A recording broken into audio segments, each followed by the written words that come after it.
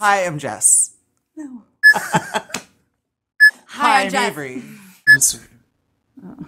Wh- Which one are we doing? I don't know. Jane. Hi, I'm Avery. And I am Jess. We've been best friends for over 10 years and we've worked on a lot of projects together. We've lived together. We've waited tables together. We've performed together. We've waited tables together. We've choreographed together. We've written a musical together. but we've never showered. Together. The reason you're watching this video is because there's something new we're doing together. We are co producing a concert in New York City featuring some of the best talent from Broadway and television. We have fierce belters from Broadway productions of Wicked and Hair, and amazing actors from Dexter and Damages. And now, all we're missing is you. A few years ago, I was referred to the Crime Victims Treatment Center from the Actors Fund as a client and survivor of childhood sexual abuse. Although I'm done my treatment there, I now have the pleasure of giving back to this great organization. 100% of the proceeds of this concert benefit the CVTC. The Crime Victims Treatment Center is located in New York City on Manhattan's beautiful Upper West Side.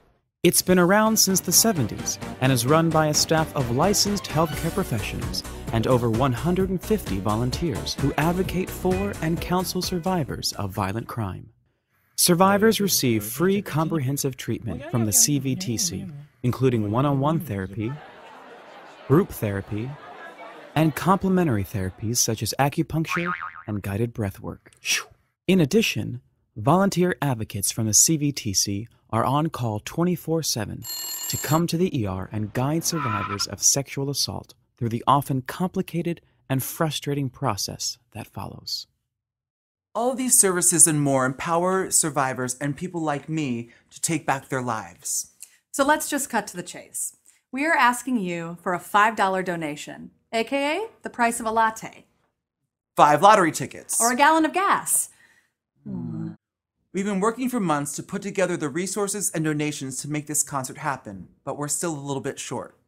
Your $5 will help us cover the costs of the concert that remain. And if we raise over the amount we need, 100% of the overage will be donated directly to the CVTC.